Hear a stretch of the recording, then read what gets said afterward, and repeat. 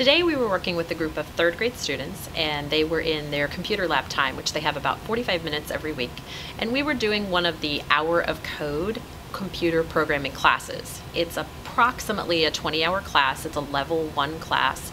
Uh, we saw it when we did Hour of Code back in December and initially logged into it. The kids um, work at their own pace. It's a class that teaches the back end of what computer gaming looks like, so they're learning how to do some basic programming, initially moving blocks and then eventually also moving text at the same time.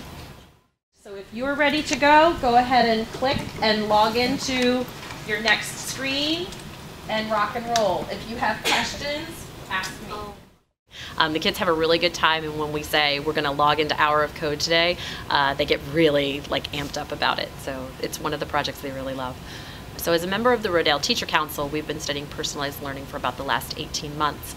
And when I looked at this course, one of the things I was really excited about from the teacher perspective is that the students are all working at their own time, at their own pace. So you can have 20 kids in the room and they're all working exactly where they need to be and they're not advancing in skills until they've mastered the skills and the level where they are. It also provides, as a teacher, the back end resources for me to actually see where the kids are working in real time so I can call them up and assist them one on one. I can go to their computer. I can grab groups of three kids that are all they're it's sitting in three different places, but they're all experiencing the same issue at the same time, and it may be a simple misconception.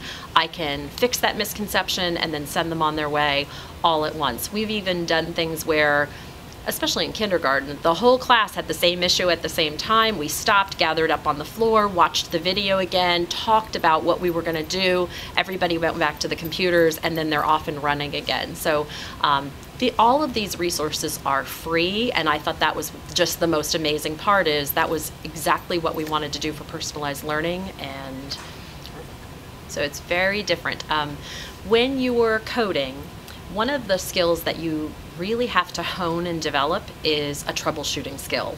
So you're trying to make something happen, you can see the avatar not doing what you want it to do. Where is, and, and these are the questions I will come and ask you. What were you trying to do? Where are you starting from? Where is the last place that it worked? So we're trying to do the trouble, teach that troubleshooting skill to come up with where's the last place that it worked, and then downstream, how do we fix it? Um, and just in terms of if you think about being eight or nine or 10 years old, that sort of self-reflection what did you want? Where are you starting from? How do you get there? Where's where did you have trouble getting there? I mean, that really applies everywhere. So there's a lot of persistence involved just sticking with it, not giving up. So we came up early on with some vocabulary about how this is hard. It's fun, but it's hard. Um, there are some things about like taking a brain break and and in the class when it gets really difficult sometimes I'll let them go out and play some of the coding games that go with this where you actually have to have those skills and they'll say hey I just did this in the class. I know how to do this now. And so the skills actually go with the computer coding games and we just marry them up. So then you can go back into the class get some more skills go back and and actually apply them in real time